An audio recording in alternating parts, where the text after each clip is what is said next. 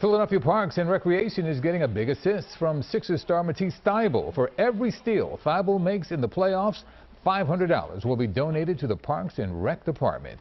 And artist Gloss Black is also selling 300 custom prints of his mural in Fishtown, honoring Matisse. Thybulle, by the way, is named for the French artist Henri Matisse. Just in case you didn't know, 100% of those sales will also be given to the city to help refurbish area basketball courts. Be right back.